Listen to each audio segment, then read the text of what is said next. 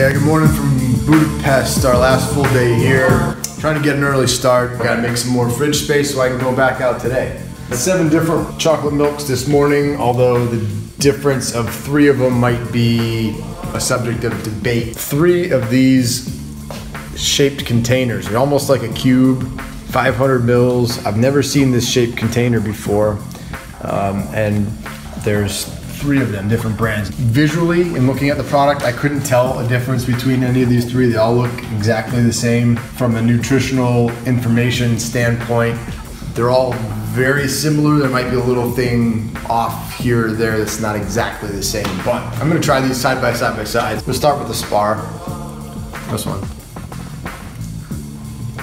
It's pretty bland. It doesn't have a lot of cocoa flavor. It almost reminds you of those big jug um, gallon jug chocolate milks that you get in the States, except those are probably a little bit more sweet. Try this one, see if this is any different. And that one maybe even a, a, a hint less sweet, a little bit blander, if that's possible, than the Spar. And lastly, the Milfina. See how this is.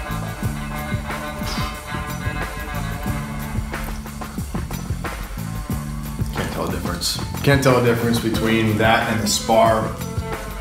I'd say that the Toll or whatever is the is the least sweet of the three, but it's really super close. I was hoping they'd all be good. They're not. Here's a Milfina milkshake.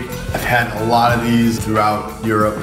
They are always super goopy and gummy, and you can tell by shaking it up. It's like a very uh, low pitch kind of a thing. Sounds like someone's gargling on their own vomit. And the taste is always the same. It's not real chocolatey. It's just that kind of a sour but gummy milkshake. I think you know, and it is. It's 119 calories per per 100 mils. It's it's caloric, but you don't get really creamy taste out of it. It really has no redeeming qualities to me. Yeah, no. Kids might like it. Millie.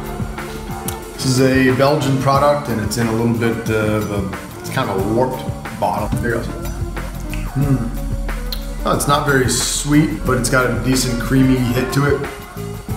Not a ton of cocoa flavor.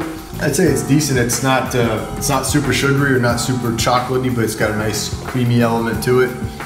It's drinkable. Uh, here's one I'm kind of excited about, and you won't see a brand on here. This is how it comes, and this was the only one with the label intact. I was excited to see like what appears to be a local chocolate milk in the Spar. I don't know if the camera can pick it up. It is. Um, can you see that? It does say. I don't know if it's Cserpes Cheese Shop. I think is the equivalent um, in Hungarian. Where's Laszlo when you need him? uh, friend of mine, Hungarian, German friend, Laszlo. Shout out to you, brother. Uh, international man of mystery. He'd be able to pronounce all this stuff and tell me what it means, but it's starting to settle again. And the first time I shook it up, it took quite a quite an effort to get it all mixed in. It's pretty got pretty strong cocoa flavor, a more earthy note to it, not to a dirty extent. I mean, not to the extent that it's a turnoff. It's sweeter than I expected it to be. I think it compares favorably with uh, with the rest of the flight here. Riska, which is kind of a funny name.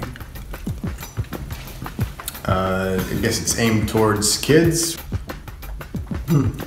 Okay, it's got um, more of a, it's a sweet, a little bit of an amaretto thing without the sting uh, to it that alcohol might have. It's an interesting texture. It feels uh, heavy, like the, like a, a, little bit denser than milk would be. Rather sweet, but pretty drinkable. Got to go out, hit the bricks, and find some more uh, before we leave for Poland. So, talk to you later.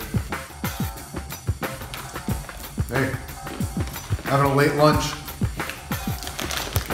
Unsalted peanuts, not on purpose. Four new chocolate milks uh, that we got going around town. These four will be the 24th um, that I've had in Budapest just in three days. So, do math, I guess that's eight a day, which is an okay ratio. Milky Way. Chocolate milk says right on the tin. Uh, seen this in kind of a squirt bottle. Uh, packaging before. I think this is a little bit less indulgent version, just like the Mars that I had uh, earlier. This a product of Hungary. Tastes like you think it would. Uh, it's got a decent malty flavor to it. It's also has molasses in it. Compositionally, it's very similar to the Mars product, and uh, taste-wise, it's also similar. Texture's identical. Decent and sweet. It's enjoyable for sure.